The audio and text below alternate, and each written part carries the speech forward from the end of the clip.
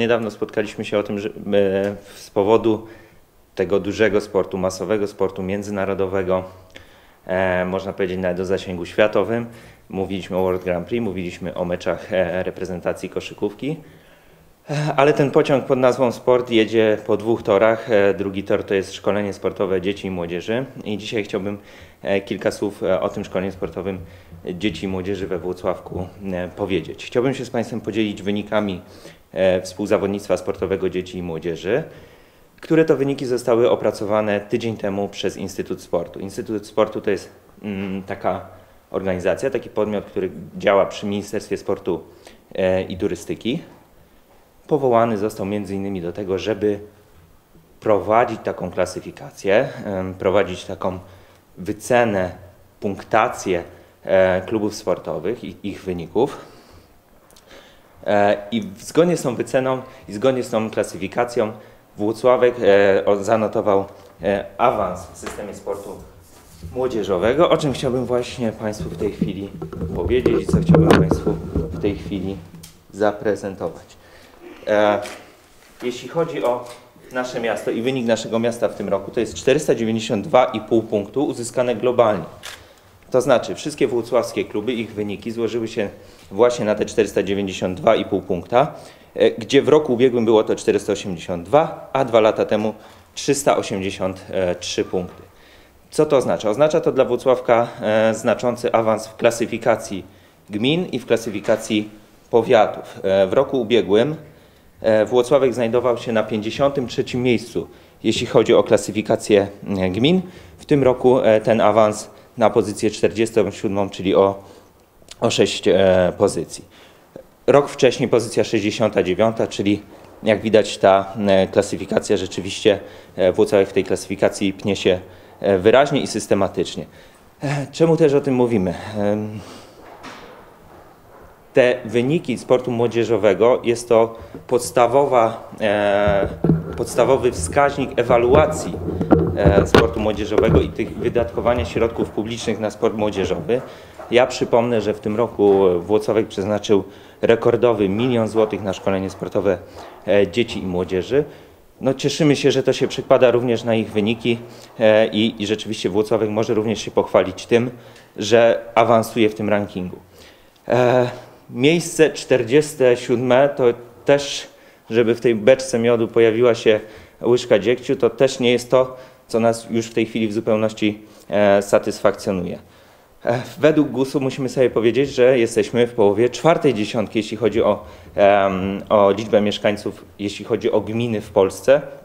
W związku z czym przynajmniej do tej czwartej dziesiątki również powinniśmy aspirować, jeśli chodzi o, e, o nasze miejsce w systemie sportu młodzieżowego.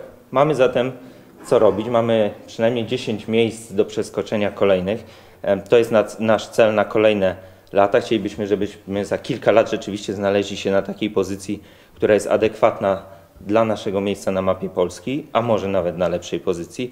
E, Co trzeba zrobić w tym celu? E, Miejsce o 10 oczek wyżej to przynajmniej 610-620 punktów w klasyfikacji e, tego sportu. Tak jak Państwo widzicie, no to trzeba dużo ponad 100 punktów więcej zdobyć. To można, można tego dokonać. E, Ja powiem tylko, że e, te wyniki opracowywane są na podstawie wyników sportowych z 50 dyscyplin indywidualnych i 90 19 dyscyplin drużynowych.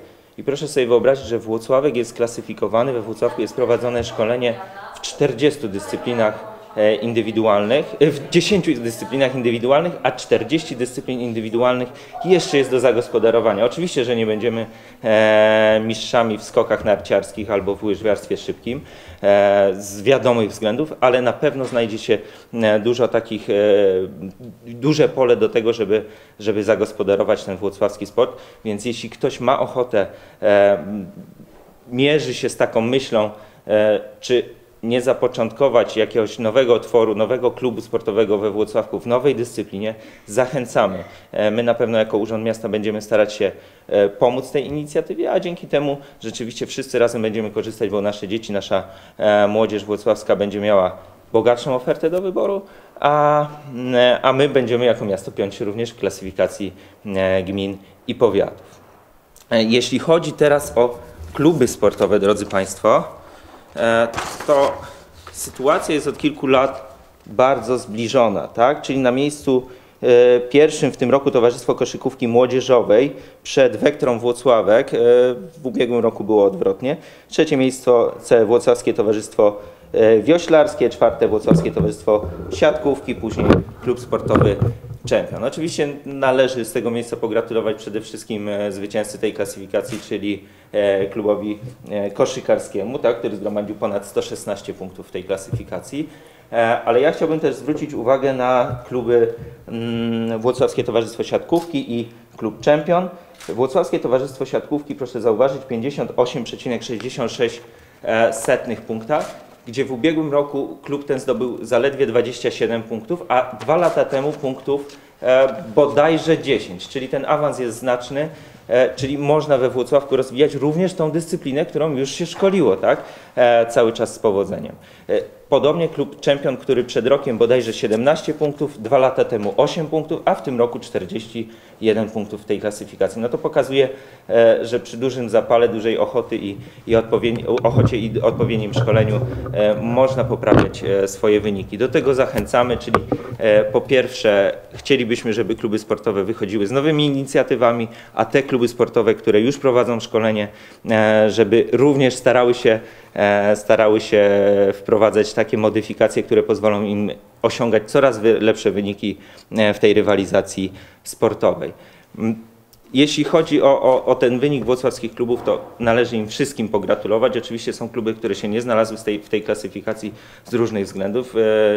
Niekiedy na, na wyniki szkolenia sportowego e, trzeba poczekać trochę dłużej. Mamy nadzieję, trzymamy kciuki i będziemy wspierać, żeby, żeby te wyniki pojawiły się w latach e, kolejnych. Jeśli chodzi o te dwa kluby, o których wspomniałem przed chwilą, e, czyli siatkówka i, e, i klub Czempion e, szkolący w szkol sportach walki, no to musimy zauważyć, że, że nakłady z e, środków miejskich na szkolenie dzieci i młodzieży w tych klubach wzrosły dwukrotnie w ostatnim roku. No i cieszymy się, że tutaj ich punkty też wzrosły dwukrotnie i, i to jest najlepszy dowód, tak jak powiedziałem, na tą ewaluację e, właściwego wydatkowania środków publicznych. E, cieszymy się bardzo, gratulujemy wszystkim klubom, ściskamy kciuki za kolejne kluby, które mamy nadzieję będą zdobywać punkty w przyszłym roku, bo tak jak wspomniałem na wstępie, Włosławek będzie się chciał dalej promować przez duże imprezy sportowe, ale nie zapomina o dzieciach, nie zapomina o młodzieży e, i chcemy, żeby, żeby właśnie na ten sport postawić jak najmocniej. Przypominamy już w ten weekend siatkówka, już w ten weekend piłka nożna kobiet. E, zapraszamy wszystkich do Włocławka, do Włocław, na włocławskie areny sportowe. Ma Pan takie przekonanie, że głównym determinantem, główną przyczyną tego skoku, tego awansu był właśnie wspomniany milion złotych? Mówię o szkoleniu dzieci i młodzieży. Z pewnością główną tak, nie jedyną oczywiście, ale główną tak. E, mamy sygnały z włocławskich klubów, e, które, z którymi jesteśmy w ciągłym kontakcie, które bardzo szanują te, te decyzje o, o, o większym wsparciu i naprawdę w sposób właściwy realizują e, środki przekazane im na dotacje. My, my każdej fakturze się uważnie przyglądamy, o każdą fakturę pytamy. Wiadomo, że pieniądze w sporcie są ważne. Oczywiście nie tak ważne jak w sporcie zawodowym. My wiemy, e, Anwil Włocławek pochwalił się zakupem nowego zawodnika i być może wyniki od jutra będą e, już lepsze. Być może mówię. Tak? E, w sporcie młodzieżowym, w szkoleniu dzieci i młodzieży na pewno ta perspektywa, w której można powiedzieć, że coś zostało super, idealnie, właściwie wykorzystane, jest dłuższa, tak? bo szkolenie dzieci i młodzieży trwa znacząco dłużej niż pozyskanie nowego zawodnika gdzieś z zewnątrz. To w takim razie ile kasy potrzeba, żeby wskoczyć do tej 40 wspomnianej? Ja myślę, że jesteśmy y, blisko tego progu, który, który jest satysfakcjonujący dla, klubu. Ja, dla klubów. Ja też Państwu zdradzę, że mm, kluby sportowe prowadzące szkolenie dzieci i młodzieży w naszym mieście e, na bieżąco, tak jak powiedziałem, rozliczają się z tych środków przekazanych przez Urząd Miasta.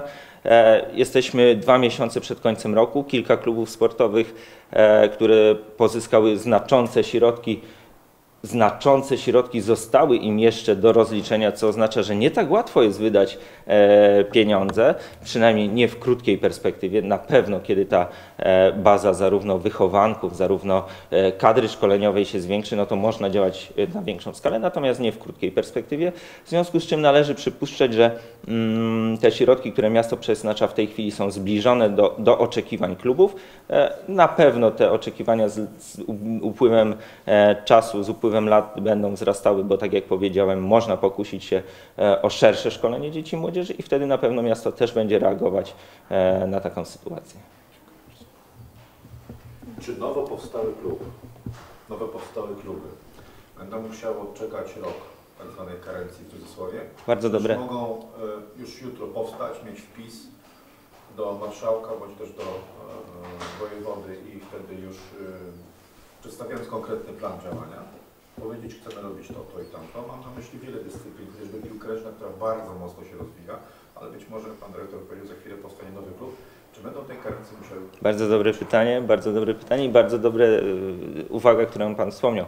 Przedstawiając dobry plan szkolenia, przedstawiając dobry plan tego, co ktoś chce robić, e, przedstawiając jak będzie wyglą- wyglądała kadra szkoleniowa, jak będzie wyglądał nabór do danego klubu, można uzyskać dotację e, już przy najbliższym konkursie, który będzie ogłaszany. To nie jest tak, że, że, że będziemy czekać aż rok, czy dwa lata, czy ilekolwiek na to, żeby klub pochwalił się jakimiś wynikami. Najlepszym przykładem jest właśnie klub piłki e, ręcznej, który już w tym roku uzyskał dotację, mimo że jest e, świeżakiem, aczkolwiek wiemy, że z tradycjami nawiązującymi do tradycji e, włocławskiego junaka. Niemniej, niemniej jest, jest nową, nową, nowym podmiotem na włocławskim rynku. Ten klub uzyskał dotację. Jesteśmy bardzo zadowoleni z tego, jak, jak na chwilę obecną ta dotacja jest wykorzystywana. Klub sobie radzi z tym świetnie. No to pokazuje, że, że to jest dobra droga i na pewno tą drogą będziemy się starać podążać w następnych latach, przy następnych konkursach, które myślę, że już niebawem, bo, bo w tym roku z pewnością postaramy się, uczynimy wszystko, żeby,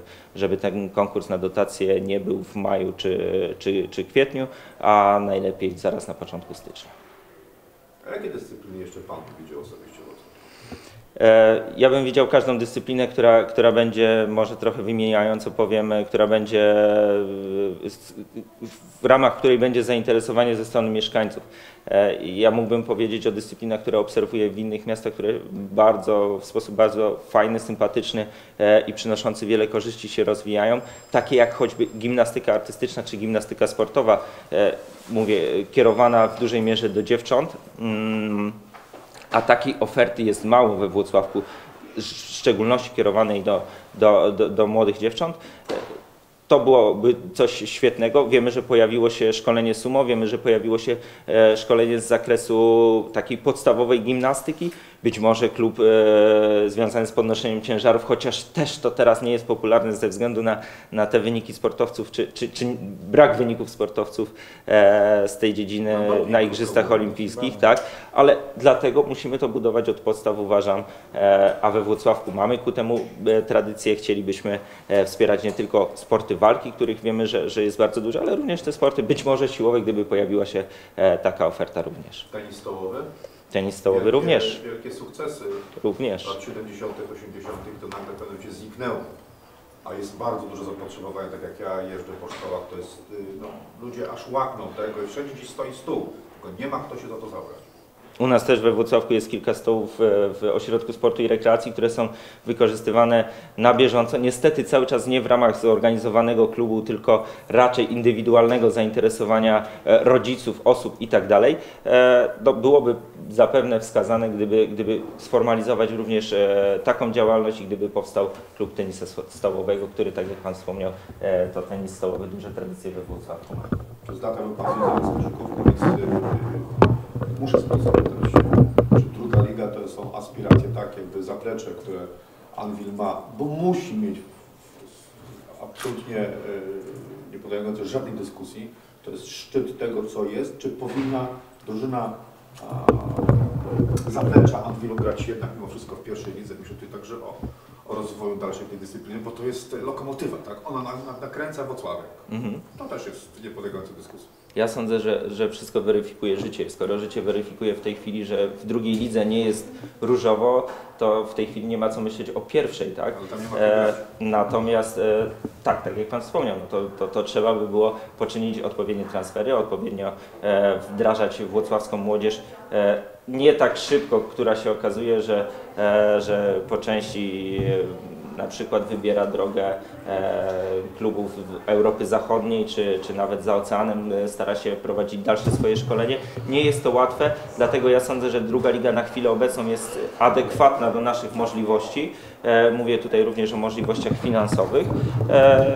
Gdyby zdarzyło się kiedyś tak, że to zaplecze Admiru byłoby na tyle bogate sportowo, na tyle bogate personalnie, że można by było wystartować w pierwszej lidze i tam e, osiągać wyniki, nawet może nie, nie, nie bić się o awans, ale osiągać wyniki gdzieś w środku stawki, wtedy tak. Gdybyśmy zostawili klub PTKM w drugiej lidze, to zamieńmy to na występy na arenie międzynarodowej. Bo Włocławek tego chce, Włocławkowi się to należy, patrząc na zdobycze Nobilesu Włocławek. Później mamy niesamowitą przerwę i dół, o czym Pan najlepiej wie, będąc przez to związany z koszykówką. Zdradzę Państwu, że przed dwoma dniami y, spotkaliśmy się w- gronie e, przedstawicieli klubu, pana prezydenta również. Rozmawialiśmy również o europejskich pucharach gdzieś w perspektywie e, przyszłości. E, być może nie jest to komfortowa sytuacja mówić już teraz o tym, bo, bo, bo, bo to stwarza pewną presję na, na klub czy na zawodników. Nie chcielibyśmy stwarzać żadnej presji. Natomiast Jeśli będzie, będą realia takie, że będzie można wystartować w e, europejskich pucharach, to na pewno będziemy na to przygotowani. Bardzo dziękuję. A już minutkę